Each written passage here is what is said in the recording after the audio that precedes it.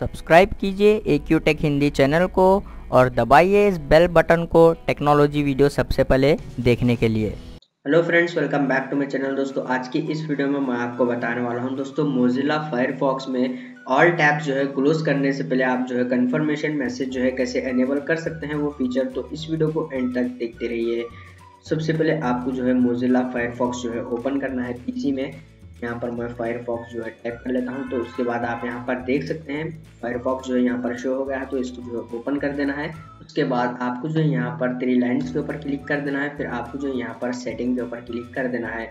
उसके बाद आपको जो है यहाँ पर जर्नल टैब में आना है, फिर आप जो है दोस्तों यहाँ पर देख सकते हैं confirm before closing multiple tabs तो जो है यहाँ पर ऑलरेडी जो है अनचेक है तो आपको जो है इस बॉक्स में चेक कर देना है। उसके बाद दोस्तों, आप जो है मल्टीपल टैब जब क्लोज करते हैं, उसके बाद आपको जो है यहाँ पर कंफर्मेशन मैसेज जो है शो हो जाएगा। तो इस तरीके से जो है दोस्तों, आप इजीली ये फीचर को जो है यूज़ कर सकते हैं मोजिला फायरफॉक्स में। उम्मीद है आपको ये छोटा सा वीडियो पसंद आया होगा तो प्लीज़ लाइक कर देना और चैनल को सब्सक्राइब करे बिना मत जाना। मिलते हैं नेक्स्ट वीडियो में।